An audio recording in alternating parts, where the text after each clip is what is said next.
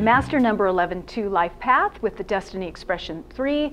You are here to take the lead in a realm that is heart-centered and creative, and this will not be a cakewalk. The Master numbers always bring more intensity to your path.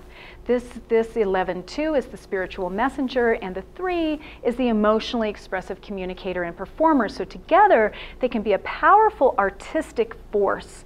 This can express itself as uh, artistically creative and very successful, even famous, leader in, in a, as a healer or in a spiritual field, or leader in a corporation or, or even group related setting. Uh, this can also present as ego driven, uh, quite addictive or irresponsible, or withdrawn and cynical. And your nickname? The Sensitive Creative.